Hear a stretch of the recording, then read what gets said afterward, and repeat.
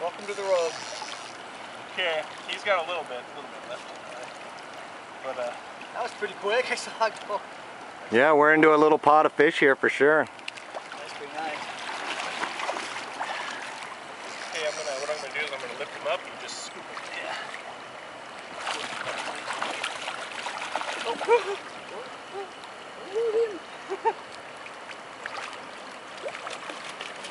Yeah. Nice fish look over here, guys. Look over here.